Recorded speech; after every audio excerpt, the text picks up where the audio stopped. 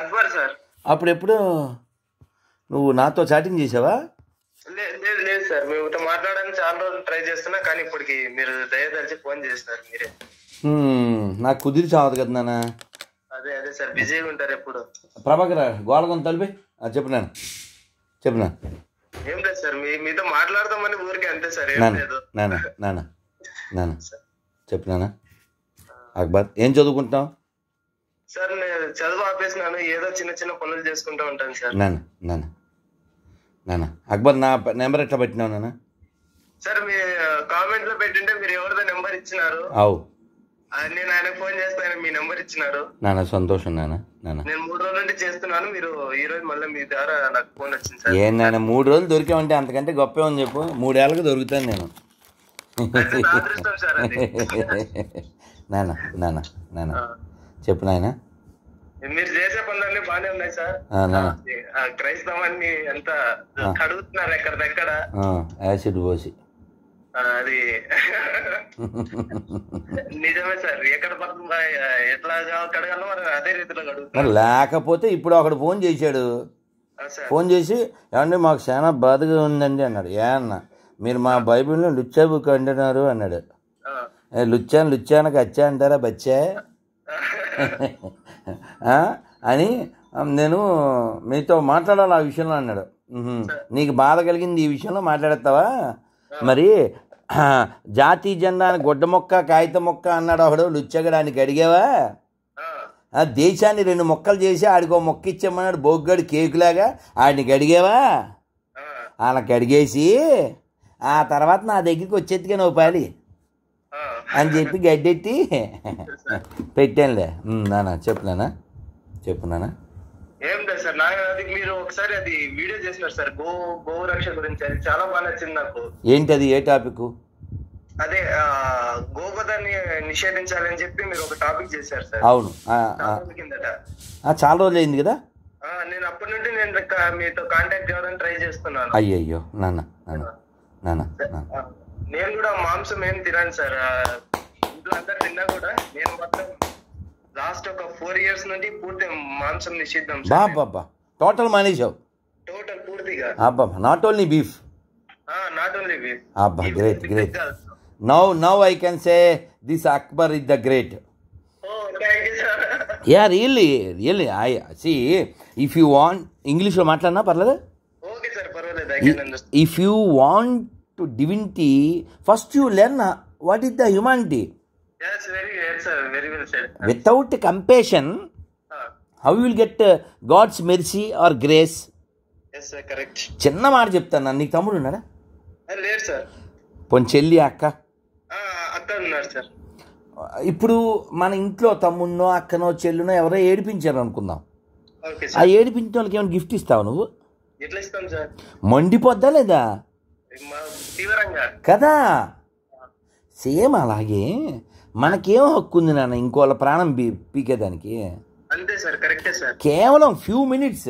ఒక నువ్వు తినేటప్పుడు ఐదు నిమిషాలు. అన్న మంచి ఉందన్న సూపర్ అన్న కేఎఫ్సి అన్న ఏదేదో మాట్లాడతాడు. కాసేపు తర్వాత కడుపులోకి వెళ్ళిపోద్ది. ఆ తర్వాత టాయిలెట్లోకి వెళ్ళిపోద్ది. అవునా కదా? ఈ కాసేపు నోట్లో ఉండి ఇంకాసేపు కడుపులో ఉండి తర్వాత టాయిలెట్లో స్టూల్ కింద మారే దానికోసం నువ్వు గోలు మరిచిపోయి ఫూల్ అవుతావేరా ఫూల్ అవునా కదా? నేనేమంటానంటే నీళ్ళు ఎవరివి అందరివి. పాలు ఎవరివి అందరివి. ఆకాశం ఎవరిది? అందరిది. నేల ఎవరిది అందరిది. ఆవు కూడా అందరిది. ఆవు బాగుంటే ఆవు పాలు తాగితే గోమూత్రం తాగితే ఆవు పేడ మూత్రం పొలానికి ఉపయోగపడితే మనం ఆరోగ్యంగా ఉంటాం. అరే విదేశాల్లో లక్షలు డబ్బులు ఇచ్చి ఆవును కౌలించుకుంటున్నారు కౌ హగ్గింగ్ అని ప్రోగ్రాం పెట్టి. నువ్వు ఇక్కడేమో కౌలు కోసేస్తావా? ఇక్కడ ఆవుల్ని తినేవాళ్ళు ముస్లిమ్స్ అవ్వచ్చు. కానీ కో అమ్మే ఎదవలు ఎవరో? హిందువులు కదా? నా ఫ్రెండ్ వాళ్ళే అమ్ముతారు సార్ ఇక్కడ. ఏ పోయా మాకు తెలుసు. తెలుదా ఇదిగో నేను ఒక మాట చెప్తారు ముతగ్గా. మన బంగారం మంచిదైతే ఎవరినో ఏదో అనక్కర్లేదని. కాబట్టి ఇప్పుడు నేనేమంటా అంటే మనం ఎడ్యుకేట్ చేయాలి ప్రజల్ని. నిన్న ఇప్పుడు నిన్న నేను ఇదివరకు ఒక రెండు మూడేళ్ళ క్రితం ఒక ఆటో ఆయన వచ్చాడు. అతను కూడా గురుగారు నేను తిరుమల పోతా ఉంటాను. నేనేమి ఆవు మాంసం తిన్నాను నేను బతికేదే ఇక్కడ వెంకటేశ్వర స్వామి మీద వచ్చే యాత్రికులంతా వల్లనే నా ఆటోలో నేను బతుకుతున్నాను. మీరు కావాలితే మా ఇంటికి రండి మా ఇంట్లో వెంకటేశ్వర స్వామి పటం కూడా ఉంటుంది అన్నాడు. అతని పేరు హఫీజ్ ఏదో. ఆ వీడియో ఉంటుంది. అందరు ముస్లిమ్స్ ఈ ఇతన్లా ఉంటే అని పెట్టారు. చూసా. చాలా కాలం అయిపోయింది అవునా? ఇప్పుడు నేనేమంటా అంటే అక్బర్ ది గ్రేట్ అంటాను ఇప్పుడు. అంటే నువ్వు ఆడు కాదు.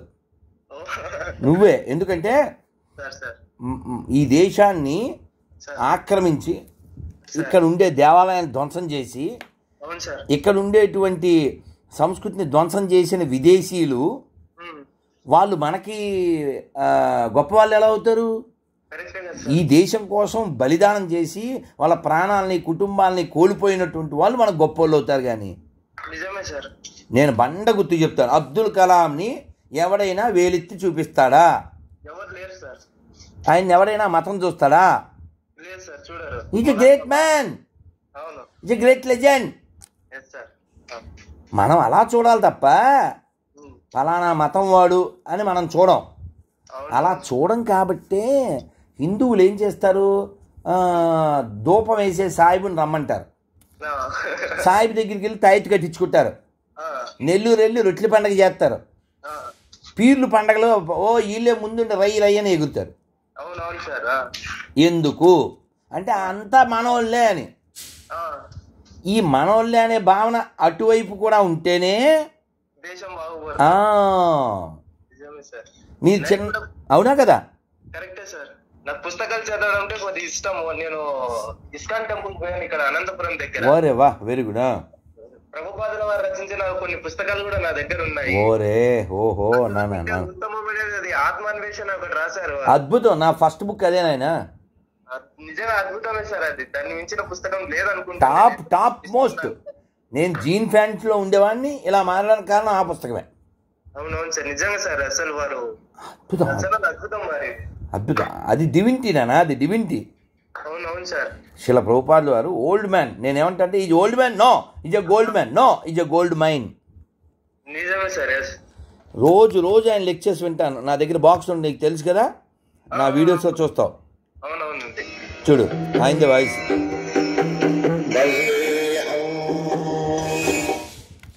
అయింది. సో ఎనీహో నాన్న చాలా సంతోషం. నీకేం చెప్పాను బేతంచెర్ల కదా మీది? నంద్యాల నుంచి ఒక గంటన్నర. చాలా సార్లు వచ్చాను నాయన. ఈ మధ్య రాలేదు. చాలా సార్లు వచ్చాను. ఎప్పుడు? ఖచ్చితంగా ఖచ్చితంగా నాన్న. ఖచ్చితంగా. నాకు అక్కడ ఒక ఈ అదే ఈ బండరాళ్ళు ఉంటాయి వాటిని ఏమంటారు? గ్రానైట్. వాళ్ళ వాళ్ళు వాళ్ళు తెలుసు. ఇంకా ఎవరో ఒక పూజారి గారు ఇప్పుడు అమెరికా వెళ్ళిపోయాడు. ఇంకో పూజారి గారు తెలుసు. ఆడ ఆంజనేయ గుడి ఏదో ఉంది కదా. అవునవును సార్. అమ్మవారి సెలవు పెద్దగా ఉంది ఇంకొకటి మఠం ఉంది ఇక్కడ. ఆ, ఆ, ఆ, దాన్ని ఉండు. పూల మఠం ఏదో అంటారు. పుదోట పూదోట నన్ను అక్కడ కూడా మెడిటేషన్ కోసం అని. వెళ్తుంటావా? వెరీ. Very good.